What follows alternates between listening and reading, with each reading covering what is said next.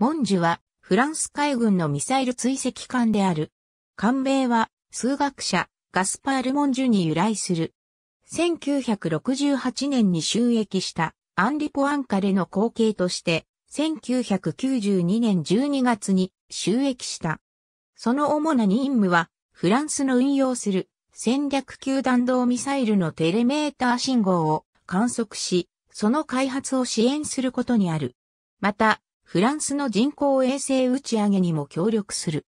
モンジュは試験艦隊の機関であるほか、フランス軍事偵察局の要員が乗り込んでおり、地上の制御局と共同で、フランスの軍事衛星に対する制御や情報受発信を行っていると考えられている。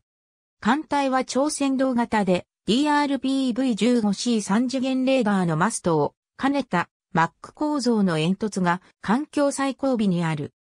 艦尾は飛行甲板で SAS321 ヘリコプターを2機収容できる格納庫を有する。観測時の高い指向性を維持するため、減揺タンクによるスタビライザーが搭載されており、低速ならば C ステート6の解消時にも、艦の揺れを9度に収めることができる。艦橋上には、任務のために、大小14機のパラボラアンテナや、光学測定装置を含む、高度の設備が搭載され、広い制御室が設けられている。モンジュは、アルストムイコールアトランティーク造船所で建造され、1990年3月26日、寄港、1990年10月6日、浸水、1992年11月5日に収益し、ブレストに配備された。1993年にボーヌと命名都市の関係を結ぶ。ボーヌは、モンジュが生まれた町でもある。